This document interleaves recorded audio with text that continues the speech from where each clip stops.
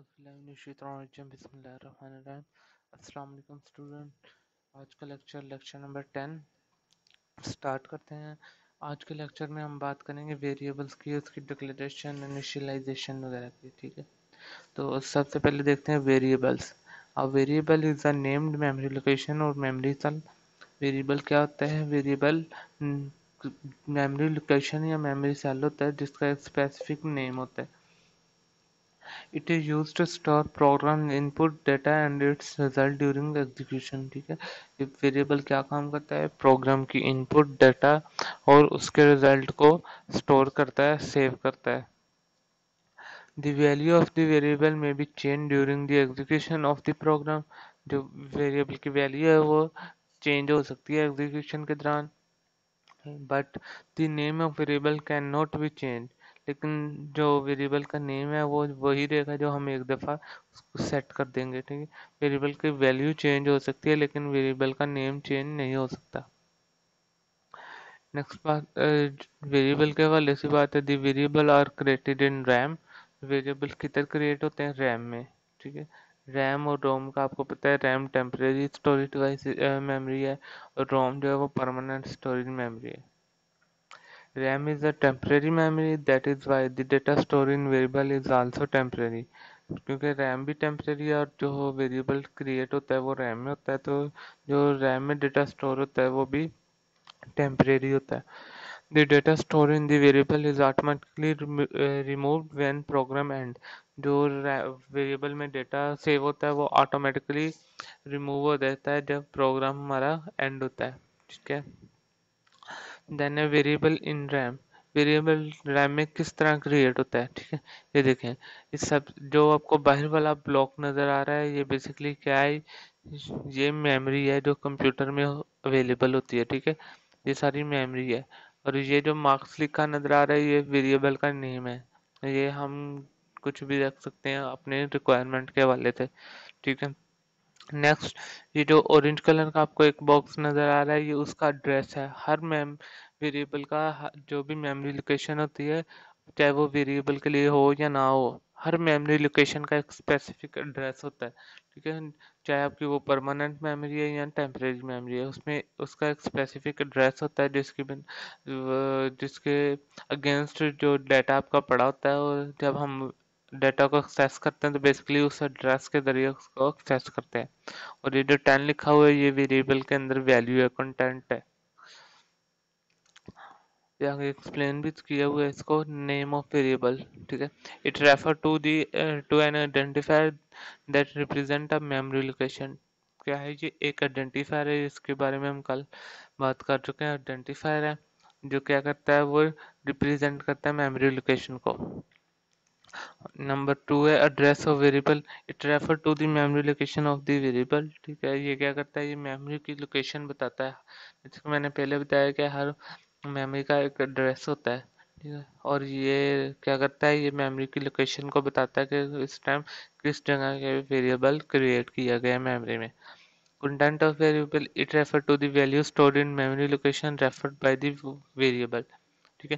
Content क्या होता है कि वो जो वेरिएबल की वैल्यू हम स्टोर करवाते हैं मेमोरी में, वो उसका कंटेंट होता है या उसकी वैल्यू होती है।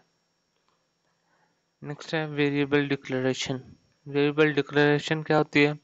The process of specifying the variable name and its type is called variable declaration ठीक है? कि वेरिएबल को उसके नेम के साथ स्पेसिफाई करना किसी प्रोग्राम में वो वेरिएबल डिक्लेरेशन कहलाती है। Definition इसकी सुन ली। The process of specifying the variable name and its type is called variable declaration, ठीक है? दो चीज़ें इसमें आती है, एक नेम और दूसरा टाइप टाइप क्या है? डेटा टाइप उसके बारे में भी हम कल के लेक्चर में बात कर चुके हैं, ठीक है? स्टूडेंट से मेरी यही रिक्वेस्ट है कि वो जो लेक्चर्स हैं, वो उनको तरतीब से सीक्वेंस से देखें, क्योंकि लेक्चर जो है, मैं भी सीक्वेंस से रिकॉर्ड कर रहा हूँ तो इस तरह अगर वो कुछ कोई लेक्चर नहीं देखेंगे तो उनको अंडरस्टैंडिंग नहीं होगी। जैसे अभी ये डेटा टाइप इसके बारे में हम कल डिटेल में बात कर चुके हैं तो अगर किसी स्टूडेंट ने वो लेक्चर नहीं देखा है तो वो पहले लेक्चर वो देख के देन वो ये वाला लेक्चर देखे फिर उसे अंडरस्टैंडिंग होगी, ठीक है? A program can have as many variable as needed program में जितने वेरिएबल चाहिए होते हैं हम क्रिएट कर सकते हैं। कोई रिस्ट्रिक्शन नहीं है। All variable must be declare before they are use in the program ठीक है? हर वेरिएबल को डिक्लेयर करना प्रोग्राम में ज़रूरी है। अगर आप डिक्लेयर नहीं करेंगे तो वो वेरिएबल कंसिडर नहीं किया जाएगा और पहले डिक्लेयर करना ज़रूरी है, ठीक है? बिफोर यूज़ है। कि यूज़ करने से पहले आप उसे डिक्लेयर करेंगे। ये नहीं कर सकते कि ऊपर यूज़ किया, नीचे डिक्लेयर कर दे फिर भी वो एरर देगा। A variable can be declare anywhere in the program before it use variable जो है वो हम प्रोग्राम में किसी भी जगह डिक्लेयर करवा सकते हैं। लाजमी नहीं है कि हमने क्लियर स्क्रीन से ऊपर या क्लियर स्क्रीन से नीचे उसको डिक्लेयर करना है। हम किसी भी जगह डिक्लेयर करवा सकते हैं, लेकिन उसके इस्तेमाल करने से पहले डिक्लेयर करना है। ठीक है? नेक्स्ट है सिंटेक्स वेरिएबल का सिंटेक्स क्या होता है? वेरिएबल डिक्लेरेशन क्या है? जैसे अभी डेफिनेशन में भी अपने देखा कि दो चीज़ें आती है, एक तो डेटा टाइप और दूसरी वेरिएबल नेम ये इसका सिंटेक्स है, इसमें क्या होता है? डाटा टाइप लिखते हैं, उसके बाद स्पेस होती है और देन वेरिएबल का नेम होता है. लास्ट पे सेमी कॉलन मस्ट है, ठीक है? डेटा टाइप वेरिएबल नेम और देन सेमी कॉलन ये कुछ एग्ज़ाम्पल है, जैसे ये इंटीजर डाटा टाइप का एक वेरिएबल जिसका नाम मार्क्स है, ठीक है? उसके अलावा चार डेटा टाइप का एक वेरिएबल जिसका नाम ग्रेड है। ये दो तीन दो एग्ज़ाम्पल हैं, ठीक है, इस तरह हम वेरिएबल को डिक्लेयर करते हैं। ये हम पिछले प्रोग्राम में देख भी चुके हैं, हमने उधर वेरिएबल इंट वेरिएबल भी डिक्लेयर किए थे और दूसरे भी वेरिएबल डिक्लेयर किए थे, ठीक है। इंट भी डिक्लेयर किए थे और चार भी हमने लास्ट जो लेक्चर है उसमें चार चार टाइप का वेरिएबल भी डिक्लेयर करवाया था। नेक्स्ट बात करते हैं variable rule for declaring variable variable declare करने के कुछ रूल होते हैं, अगर उसको फॉलो नहीं करेंगे तो वेरिएबल एरर आएगा, ठीक है? उन रूल को फॉलो करना मस्ट है, वो इसलिए क्योंकि सी प्लस प्लस हमारी, आपको पता है केस सेंसिटिव लैंग्वेज है तो इसमें जो आपके रूल हैं, वो सारे फॉलो होने चाहिए, ठीक है? सबसे पहला रूल है वेरिएबल में भी include letters number and underscore variable के नेम में लेटर्स भी हो सकते हैं नंबर भी हो सकते हैं और अंडरस्कोर ये जो आगे बना हुआ है, इसे अंडरस्कोर कहते हैं, ठीक है? ये डाल सकते हैं हम। The first character of variable must be a letter और अंडरस्कोर जो वेरिएबल का पहला करेक्टर है, वो लेटर या अंडरस्कोर हो सकता है नंबर नहीं हो सकता, ठीक है? नंबर हम सेकंड लेटर के फ़र्स्ट लेटर के बाद कहीं भी ले सकते हैं, लेकिन फ़र्स्ट लेटर जो होगा वो या तो अंडरस्कोर होगा या लेटर होगा, ठीक है? जैसे कि उसने कुछ एग्जांपल दिए nine minute hash home are invalid ठीक है? नाइन मिनट क्योंकि सबसे पहले वो नंबर आ रहे हैं देन लेटर्स आ रहे हैं तो ये भी इनवैलिड है। उसके अलावा हैश होम हैश तो वैसे ही वो अलाउ ही नहीं है अंडरस्कोर अलाउ है सिर्फ़ स्पेशल करेक्टर में, सिर्फ़ अंडरस्कोर हम डाल सकते हैं और उसके अलावा कोई स्पेशल करेक्टर वेरिएबल वेरिएबल के नेम में किसी भी जगह नहीं डाल सकते। Blank space are not allowed in the variable name ठीक है ब्लैंक स्पेस भी अलाउ नहीं होती लाइक जैसे अब ये नीचे आपने देख रहे हैं फादर नेम लिखा हुआ है फादर और नेम के अलावा दरमियान में स्पेस है, ये भी अलाउ नहीं है। अगर आपने स्पेस डालनी है, आप चाहते हैं कि दो वर्ड हैं, उसको अलग अलग करना चाहते हैं तो आप उसके दरमियान अंडरस्कोर डाल देंगे स्पेस नहीं डालेंगे, ठीक है।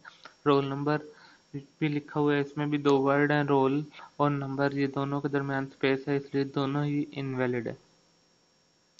Both upper and lower case are allowed a user defined variable is conventionally written in lower case ठीक है, दोनों केसेस में हम लिख सकते हैं वेरिएबल का नेम अपर केस में भी और लोअर केस में भी।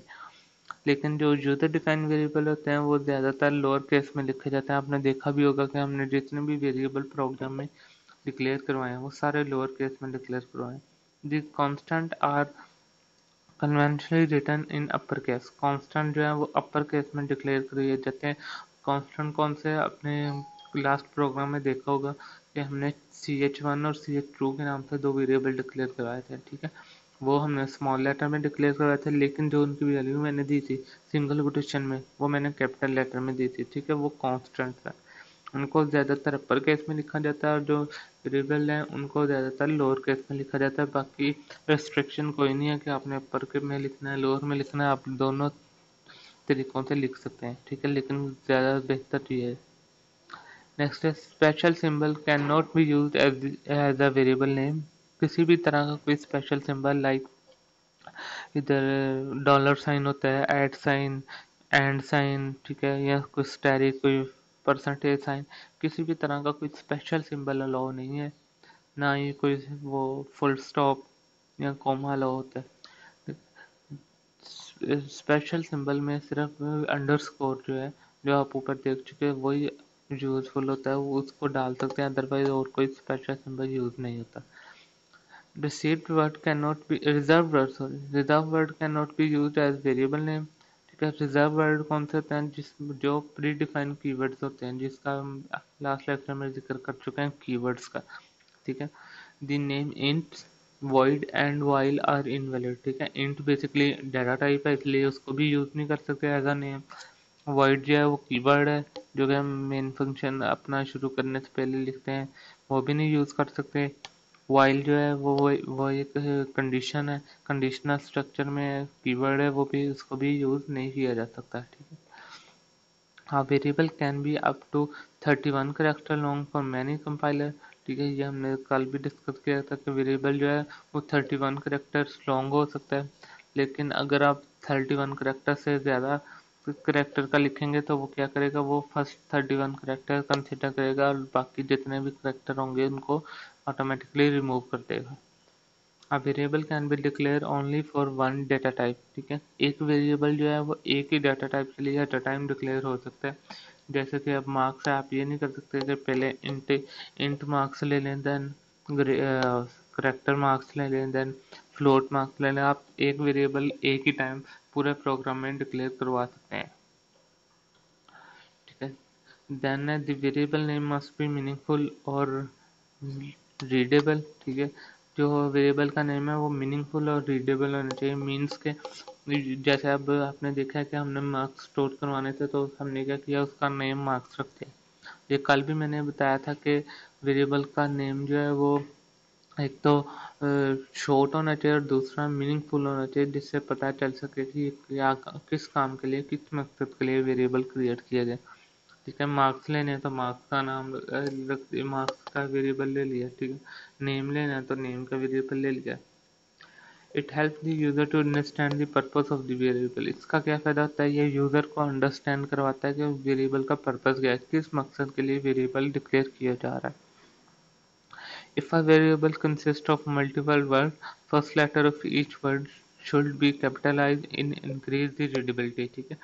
अगर हमारा जो वेरिएबल है वो मल्टीपल वर्ड्स में पर डिपेंड है ठीक है? क्योंकि हमारे जो वेरिएबल के नेम में स्पेस अलाउ नहीं है तो जब मल्टीपल वर्ड्स होंगे या तो हम अंडरस्कोर डालेंगे या हम स्पेस नहीं बल्कि इकट्ठा ही लिख देंगे जैसे ये रीडेबिलिटी लिखा हुआ है या इंक्रीज लिखा हुआ है ठीक है?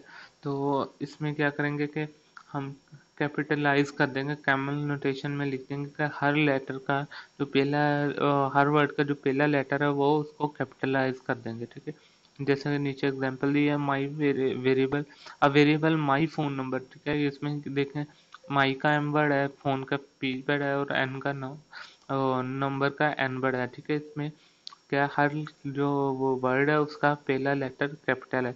Is more readable than my phone number ठीक है? देखें आपको, ऊपर वाला जो है, वो थोड़ा ज़्यादा रीडेबल लग रहा है, लेकिन नीचे वाला जो है, वो समझ नहीं लग सकती। इजीली वो पढ़ना पड़ेगा हमें कि माई फ़ोन नंबर लिखा हुआ है, ठीक है? लेकिन ऊपर हमें पता लग रहा है कि माई अलग वर्ड है फ़ोन अलग वर्ड है और नंबर अलग वर्ड है। अब बात करते हैं हम वेरिएबल इनिशियलाइजेशन की।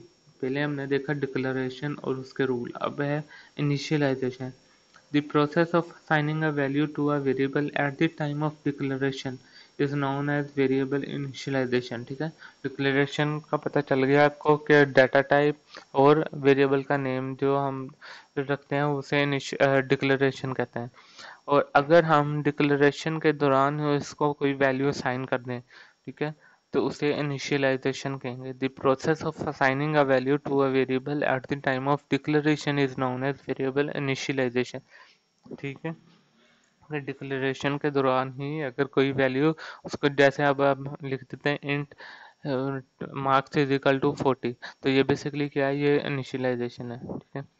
The equal sign is used to initialize a variable name is given on left side and value is given on the right side of the equal sign ठीक है right uh, जो हमारा equal sign है वो initialise के लिए use होता है उसके लेफ़्ट साइड पे वेरिएबल का नेम होता है डेटा टाइप वेरिएबल का नेम और राइट साइड पे उसकी वैल्यू होती है ठीक है ये इसका सिंटेक्स है हमारे पास डाटा टाइप ठीक है वेरिएबल नेम और इक्वल के बाद वैल्यू उसकी जो भी हम रखना चाहते हैं। ये एग्जांपल है, जैसे ये देखिए इंटीजर मार्क्स यानी कि इंट मार्क्स इंट क्या है? डाटा टाइप है मार्क्स इसमें जो है, वो वेरिएबल का नेम है और देन इक्वल साइन देन 60 और लास्ट पे सेमीकोलन 60 जो है वो वैल्यू है।